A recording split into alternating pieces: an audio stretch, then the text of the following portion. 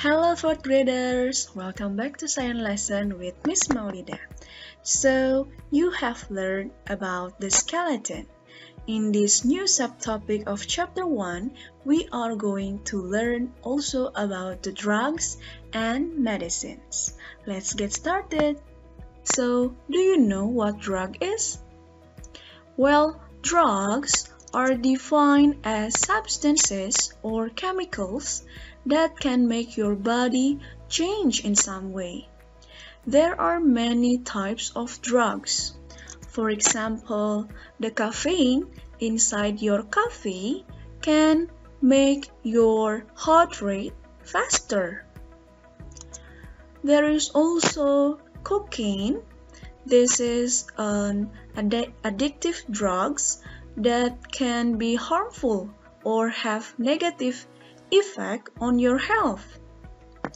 But we also have drugs as medicines that can make our body healthier.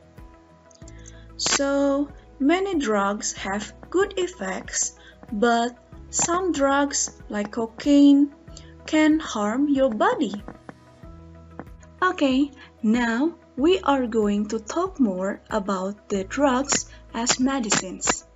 Well, the drugs as the medicines are the ones that can make our bodies feel better when we get sick.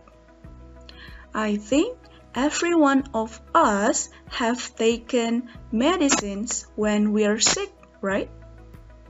Okay, so we take the medicines in order to help our body uh, be healthy or feeling better. But remember, in the previous slide, we have seen also the harmful drugs, right? So we can say that not all drugs are medicines. Some of the harmful drugs are not uh, making us feel better. Even it can be dangerous for our health. Like for example, there is the drugs named tobacco that we can find in cigarettes. Or alcohols are also drugs that are harmful to our body. Okay, so now let's see how do we take the medicines. There are several ways in taking medicines. Let's see one by one. Okay, so the first one is the type of medicines that needs to be mixed with the water. Usually, this kind of medicine come in powder. Here, for example, we have Oralit. It is used when uh, you get uh, dehydration.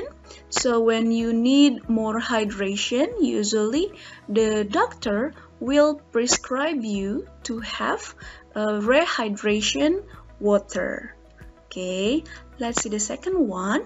We have what it is called as inhalers. Can you repeat after me? Inhalers. Inhalers. Good job. Um, do you know what inhalers are for? Yeah, for people who have asthma. So maybe if you or maybe your friends or your family uh, have asthma, they probably have this kind of medicines. Okay, so the inhalers, we inhale the air from the inhalers to make us uh, breathe uh, better in asthma person. Okay, so let's see the third one. The third one is syrup. I think this one is, uh, everyone is familiar with this one. So here, in order to take the medicine, we just simply need to drink the liquid medicines. Maybe many of you have taken this kind of medicines, right?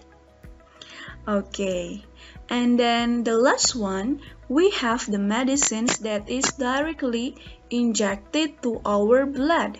Usually, if the patient is um, very serious or uh, you know like very sick and they need to get faster treatment usually the doctor will uh, uh, give the uh, medicines directly into the bloodstream. So the they can heal faster. Okay? So after this I want you to actually do this activity how do people take the medicines but uh, it will be in the video form so let's watch the video Welcome to Cambridge Science Investigators. Today's investigation. How do people take medicines? Have you ever taken medicines? There are lots of different ways that we can take medicines. Can you think of some of them?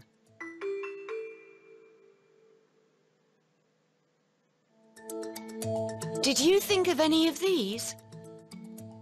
How can our investigators find out about the different ways people take their medicines? What information do they need? How can they collect their information? What do you think? What information is needed and how can our investigators collect this information? They can find out about how people take medicines by doing a survey.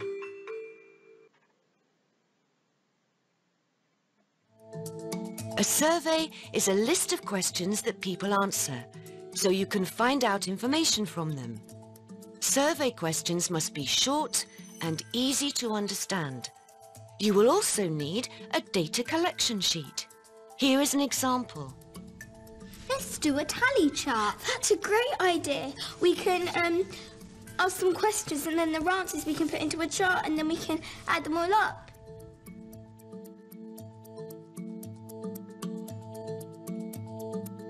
Now that you know how to do a survey, you need to collect your information and record it. Ask different people to answer the survey questions. The more people you ask, the better. Our investigators are going to ask 30 people. Make a tally on your data collection sheet of the number of people who answered yes to each medicine. Look at the data our investigators have collected from asking 30 people. Up to more than 30. We only asked 30 people. Maybe we got it wrong. Let's do it again. One, two. Can you think why it might add up to more than 30? You can use your tally data to draw a bar chart. That will show you very clearly how many people take their medicine in each way. Many people use inhalers? How tall should the inhalers bar be?